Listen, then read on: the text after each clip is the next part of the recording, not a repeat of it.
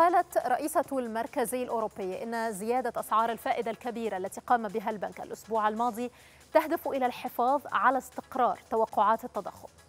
وأضافت أن المركزي الأوروبي سيكون قادرا على خفض التضخم في غضون عام ونصف أو عامين. وذكر وزير الاقتصاد الإسباني السابق في هذا السياق أن المركزي الأوروبي قرر رفع أسعار الفائدة بمقدار 75 نقطة أساس معلنا أنه سيواصل الزيادة ومشيرا إلى أن عدد مرات أو ومقدار رفع الفائدة المستقبلية سيعتمد بشكل أساسي على البيانات.